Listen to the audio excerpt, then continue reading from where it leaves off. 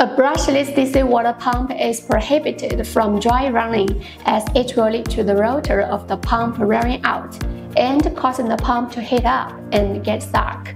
Then, what are the possible reasons for dry running of the water pumps? Firstly, no water supply. A brushless DC water pump is prone to dry running when there is no water or insufficient water supply. Secondly, blockage or leakage. If the inlet of the pump is blocked or leakage occurred, the pump will not be able to absorb water normally, which may cause dry running. Thirdly, improper installation.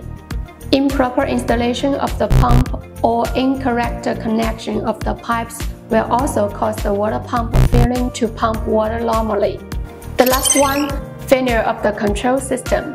If the control system of the water pump fails, the operation status of the water pump will not be monitored correctly, which may cause the water pump to continue to run without water and dry running.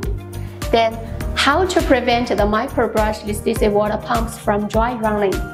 The first one, the pump inlet must be connected to a pipeline with water supply and being installed lower than the water source to ensure that the water can enter the pump smoothly. The second one, Choose the water pump with dry running protection so that it will automatically stop working to avoid damage when the water pump runs without water.